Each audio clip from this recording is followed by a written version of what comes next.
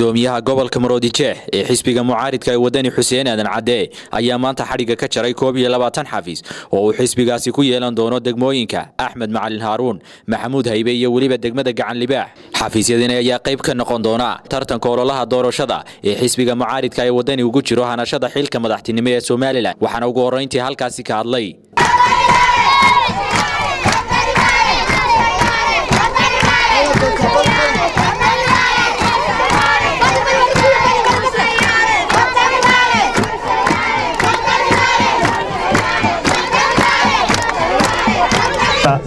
laanta waa beri.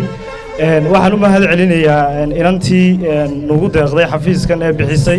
Ilaahay jazaaya ka siiyo saafi. U baahannahay dadaal fara badan. Waxaynu isku ognahay maalinta saddexiyo tobanka noofembar cudud cod insha allah biidni illaahi waxaan u sheegayaa dadweynahayaga sidaa qiimaha iyo qayaha badan le u soo dhoweeyey xisbiga.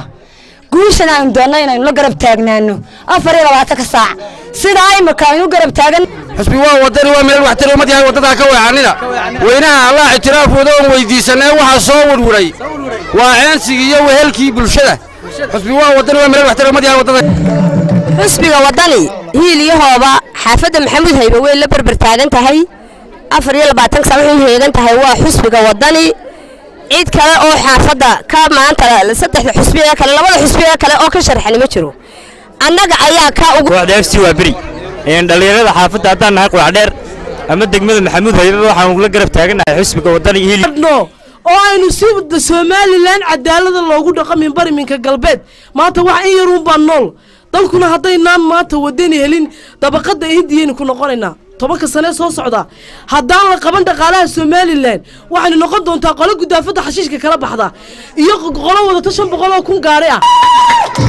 Waxaan leeyahay tacabkiina waad gaadhaysaan insha allah bilmillaahi kariim.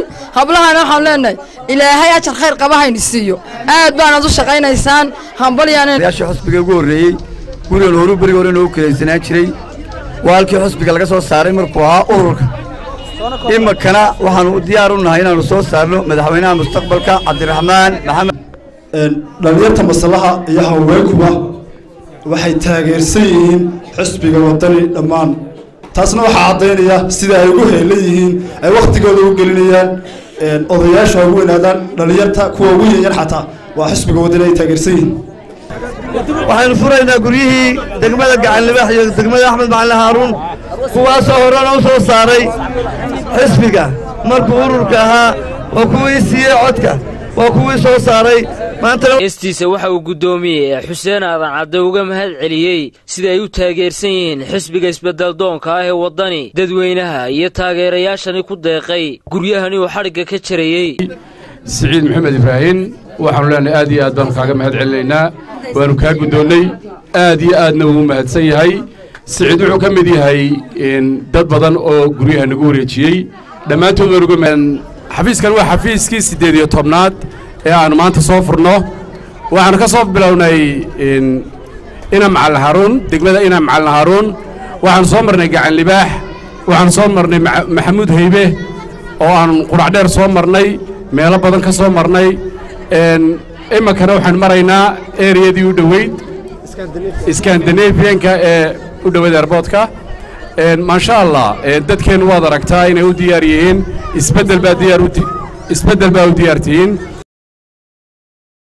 yarada waxaynu ku boorrinaynaa oonu dadka dhammaan dadkaannu ka wacyigelinaynaa kaadhirhkiina waa la burburinayaa kaadharhkii waa loo yimi. Waxaana la doonayaa wax yar oo aan dhaqaale aan saa u buurnayn in laydinka siisto. Baarlamankiinna goordhow kaa ku gelaysaan waa kan. Golaha deegaankee aad yeelan doontaanna kanaa ku gelaysaan markaa qof walbaba balkaarkaaga ilaasho. Waxariir maxamed kosaar xogta biyaha caalamiga star t v magaalada hargeysa